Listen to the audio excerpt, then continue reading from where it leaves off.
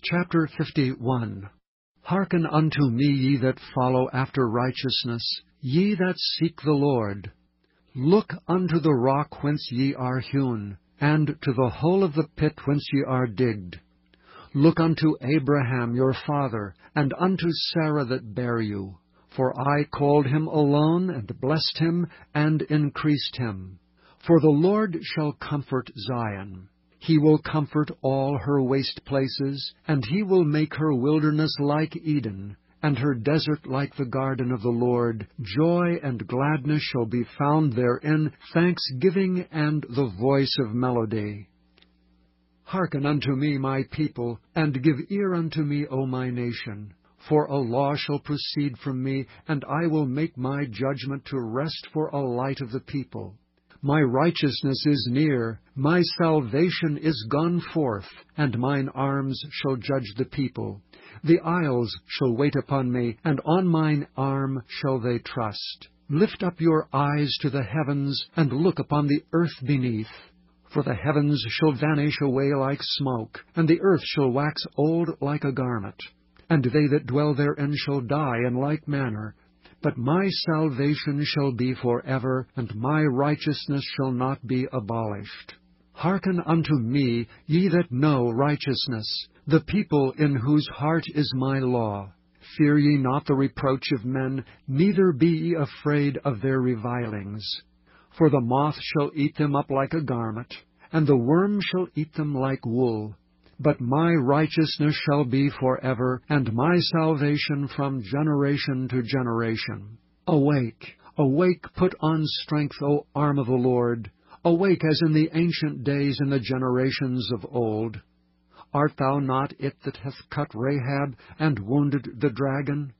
Art thou not it which hath dried the sea, the waters of the great deep, that hath made the depths of the sea a way for the ransomed to pass over? Therefore the redeemed of the Lord shall return, and come with singing unto Zion, and everlasting joy shall be upon their head. They shall obtain gladness and joy, and sorrow and mourning shall flee away. I, even I, am he that comforteth you. Who art thou that thou shouldest be afraid of a man that shall die, and of the Son of Man, which shall be made as grass? And forgettest the Lord thy Maker, that hath stretched forth the heavens, and laid the foundations of the earth, and hast feared continually every day because of the fury of the oppressor, as if he were ready to destroy. And where is the fury of the oppressor? The captive exile hasteneth that he may be loosed, and that he should not die in the pit, nor that his bread should fail. But I am the Lord thy God, that divided the sea, whose waves roared. The Lord of hosts is his name. And I have put my words in thy mouth, and I have covered thee in the shadow of mine hand, that I may plant the heavens and lay the foundations of the earth, and say unto Zion, Thou art my people.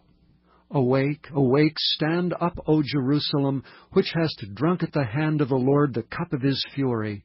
Thou hast drunken the dregs of the cup of trembling, and wrung them out. There is none to guide her among all the sons whom she hath brought forth, neither is there any that taketh her by the hand of all the sons that she hath brought up. These two things are come unto thee. Who shall be sorry for thee? Desolation and destruction, and the famine and the sword. By whom shall I comfort thee? Thy sons have fainted. They lie at the head of all the streets, as a wild bull in a net.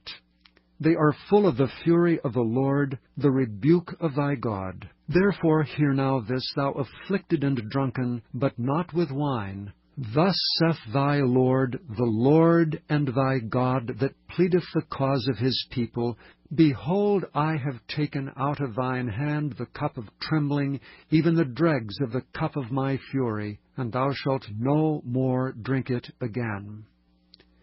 But I will put it into the hand of them that afflict thee, which have said to thy soul, Bow down, that we may go over, and thou hast laid thy body as the ground and as the street to them that went over.